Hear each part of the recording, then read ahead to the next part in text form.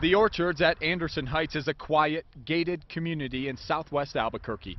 These gates and walls that used to provide a sense of safety and security, but that is crumbling. scary because I have a child and I can't sleep at night thinking that one day I'm going to eventually get broken into. Action 7 News obtained these surveillance videos from a person who lives inside the orchards. Watch as these three young men go from car to car.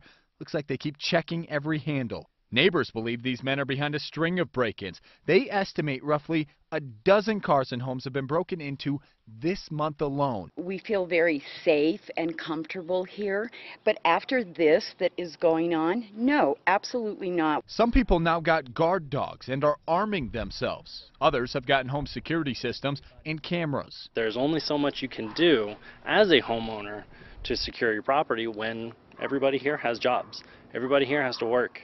Um, we can't be up late at night all the time watching. Neighbors say they want to see security patrol these grounds. We reached out to the management company to see what it's doing about the thefts. Our calls have not been returned yet.